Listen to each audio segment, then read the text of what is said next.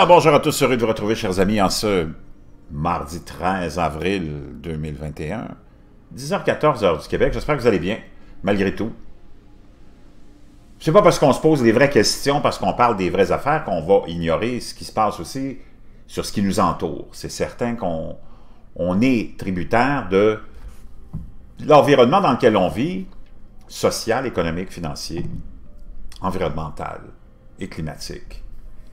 Et franchement, ce qui se passe en ce moment, c'est déroutant, c'est inquiétant. Tout ce qui se passe en ce moment. On le voit au niveau politique. Il y a beaucoup de mouvements qui se font en ce moment, géopolitique entre autres. C'est toujours les mêmes euh, vieilles méthodes utilisées, hein, euh, militarisation, investissement dans la militarisation, partout, des grandes puissances maintenant, hein, les grandes puissances, euh, les États-Unis, la Chine, la Russie toujours qui est là, hein, à se débattre pour rester euh, euh, encore influente. Israël dépense beaucoup d'argent dans son industrie militaro, complexe militaro-industriel. La France, beaucoup, beaucoup de pays dépensent beaucoup d'argent au nom de la paix, en préparant les guerres. Une autre aberration. Donc, beaucoup de mouvements, on le voit, beaucoup de tensions partout, toujours aussi sous un angle pas trop loin euh, religieux. On voit une montée de l'extrême droite dans nos pays euh, caucasiens, blancs, qu'on parle de la Russie, où on a passé plusieurs lois anti-femmes, anti-gays,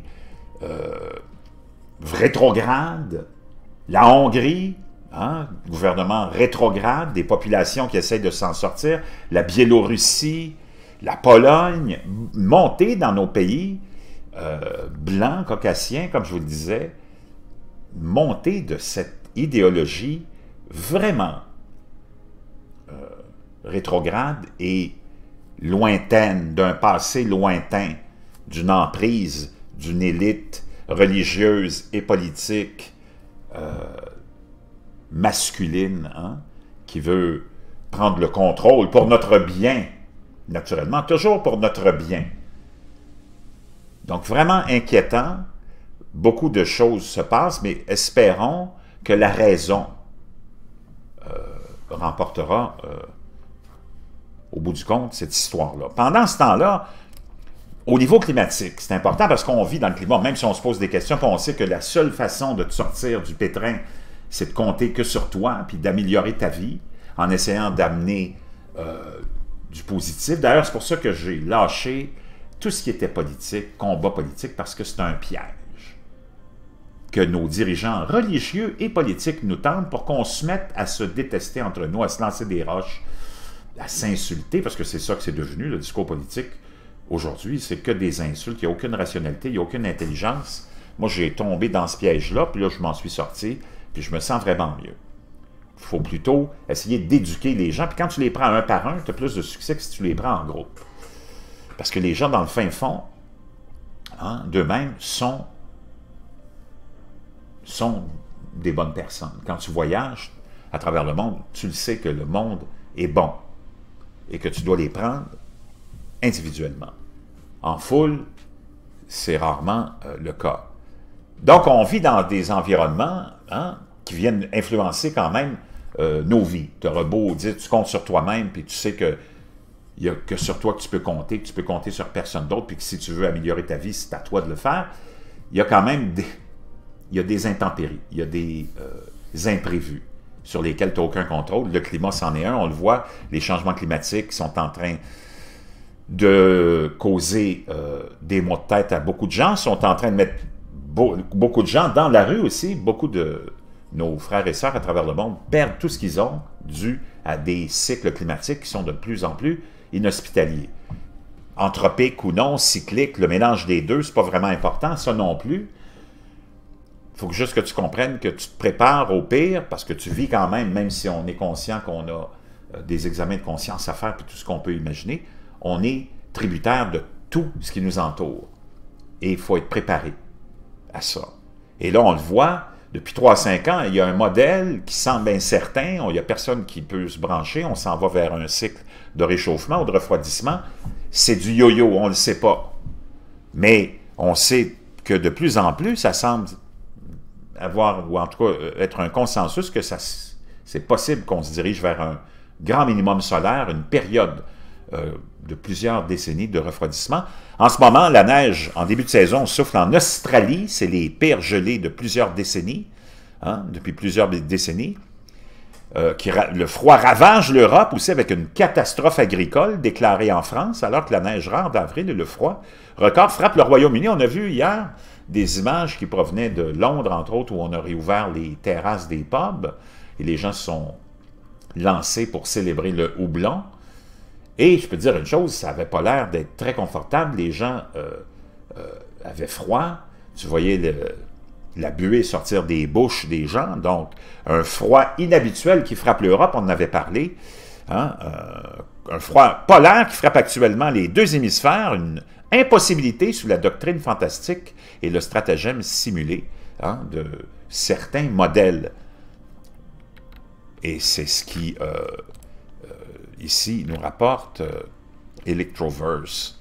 Un puissant front antarctique apporte de la neige de début de saison au sud-est de l'Australie et le froid a envahi la Tasmanie, Victoria et l'Australie du Sud samedi et a gagné du terrain dimanche apportant des conditions glaciales de la neige à basse altitude et le premier gel de l'année à de nombreuses personnes dans l'Est. Depuis 3-5 ans, on a ce modèle-là dans ce coin-là aussi. Il ne faut pas oublier qu'eux, ils sont en hiver, ils commencent leur automne-hiver.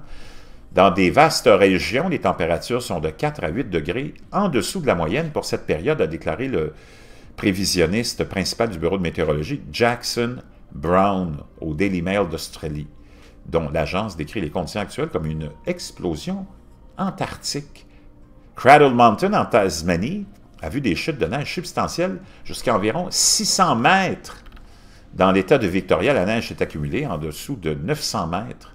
Des endroits comme le mont Buller et le mont euh, affichaient des totaux impressionnants la mi-avril avec un bâtiment de 22 cm à compter dimanche après-midi avec de la neige qui tombait toujours. Les pires gelées depuis des décennies ravagent l'Europe avec le désastre agricole déclaré en France.